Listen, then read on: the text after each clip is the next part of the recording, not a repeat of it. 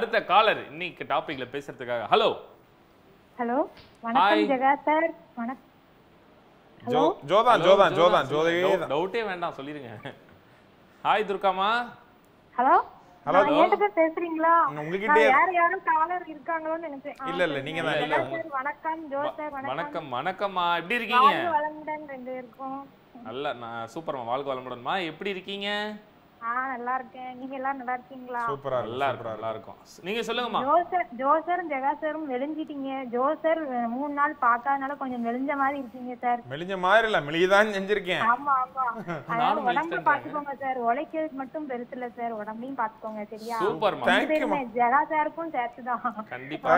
செட்ல உள்ள எல்லாருமே உழைக்கிறீங்க. அது மாதிரி உடம்பையும் ஹெல்த்தா ஹெல்த்தியா பாத்துக்கோங்க ஏதாவது முன்ன அந்த செட் முன்ன முன்னால வந்து ஒரு எபிசோட்ல இந்த இளநீ எல்லாம் குடிச்சிட்டே பேசுறீங்க தெரியுமா சார்? அத மாதிரி நீங்க ஏதாவது. ஃப்ரூட்ஸ் கோவா.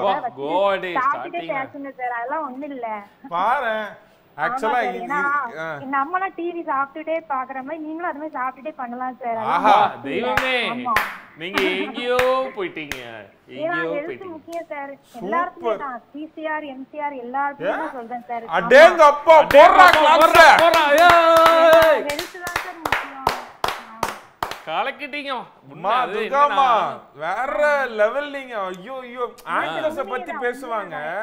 ஆனா வந்து பிசிஆர் எம்சிஆர் முதற்கொண்டு நீங்க சொல்லி இது மாதிரி வந்து அவங்களும் ஹெல்த்த பாத்துக்கணும்லாம் அவங்களுக்கு என்ன சந்தோஷம்னா நம்மள பத்தி பேச ஒருத்தவங்க இருக்காங்களே அப்படின்னு ஹாப்பி இத்தனை பேர் குடும்பம் இருக்கு. அதை கண்டிப்பா? கண்டிப்பா. ஒண்டர்ஃபுல் ஒண்டர்ஃபுல் துர்காமா ஸ்டார் காலர் நீங்க எங்களுக்கு. ரொம்ப ஹாப்பி ஒரு பாஸ் கிட்ட இருக்க வேண்டிய குவாலிட்டி இருக்கவே வேண்டாம் அப்படின்னு சொல்லக்கூடிய குவாலிட்டின்னு என்ன சொல்லுவீங்க துர்கா?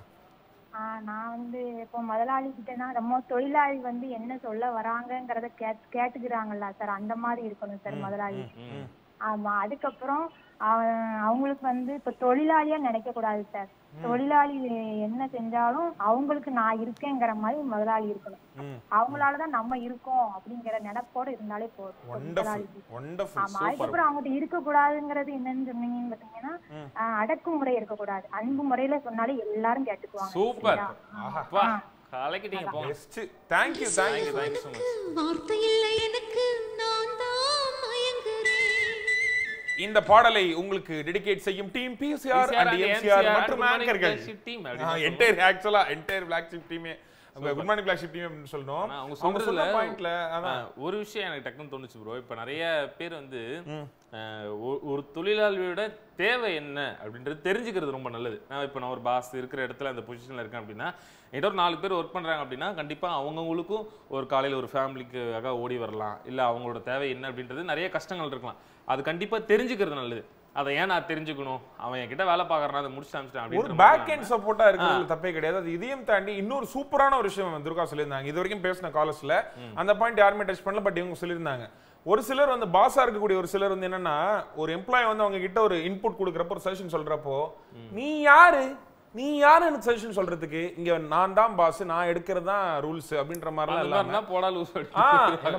இல்ல அப்படி இருக்கிற பாஸுக்கு சொல்றேன் நீங்க சொன்னீங்கல்ல நான் தாண்டா நான் சொல்றதாண்டா அப்படின்ற மாதிரிலாம் பாஸ் ரூல்ஸுக்கு லூஸ் ரைமிங்ஸா அப்படி வர்ற ஓகே பட் இது வந்து கற்பனையே ஜகாவை யாரும் தப்பா எடுத்துக்காதீங்க. நம்ம இதெல்லாம் அப்படி இல்லைங்க. நம்ம ஆபீஸ்ல உண்மை சீரியஸா எல்லாருமே இல்லடா treat ஜெனரலா தான் சொல்றேன். சோ அப்படி ஒரு சஜஷன் வந்து ஒரு பாஸ் கிட்ட வைக்கிறப்போ அது ரிசீவ் பண்ணக்கூடிய அந்த பெருந்தன்மையும் அந்த பொறுமையும் இருக்கணும்.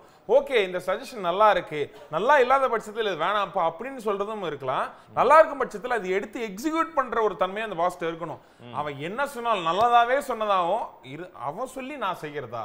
அப்படின்ற மாதிரி ஒரு quality it should never be with a boss அப்படின்ற மாதிரி ஒரு சூப்பரான பாயிண்ட் சொல்லியிருந்தாங்க. நம்ம துர்கா அண்ட் இன்னொரு விஷயம் இந்த இதுல இப்ப நம்ம நம்ம ஆபீஸை பத்தி பாக்குறோம் அப்படின்னா இதுல சீரியஸா ஒரு நல்ல விஷயம் தான். எல்லாரோடைய ஒப்பீனியனையும் கண்டிப்பா கேட்பாங்க. அதுல ஒரு பெஸ்ட் குவாலிட்டி நம்ம ஆபீஸ்ல இருக்கு. யாரா இருந்தாலும் சரி ஒரு பேண்ட்ரில Open for discussion. என்னப்பா மீட்டிங் அப்பப்ப வைக்கிறாங்க. நம்ம ஆபீஸ்ல அடிக்கடி மீட்டிங் நடக்கும். சோ அதுல அவங்களோட ஒப்பீனியன்லாம் கேட்கறது வழக்கம். அப்படி இருக்கிறப்ப இது ஒரு நல்ல குவாலிட்டியா காலையில ஆரம்பிச்சா சாயங்காலம் வரைக்கும் மீட்டிங் தானே? மீட்டிங் தான். ஆனா அது இதுல ஒரு நல்ல குவாலிட்டியா நான் பாக்குறேன். இதுதான். எவன்டா மேல எவன்டா கீழே எல்லா உயிரையும் ஒன்னா வைப்பாரு. முடிஞ்ச வரைக்கும் அந்த சேரு தலையில் எத்தி வச்சு கொண்டாடு ஊரு. குட் மார்னிங் பிளாக் ஷீப் தினம்தோறும் காலை ஏழு மணிக்கு நேரலை காண தவறாதீர்கள். உங்கள் சித்திரம் தொலைக்காட்சி மற்றும் பி எஸ் வேலி ஓடிடி ஆப்பில்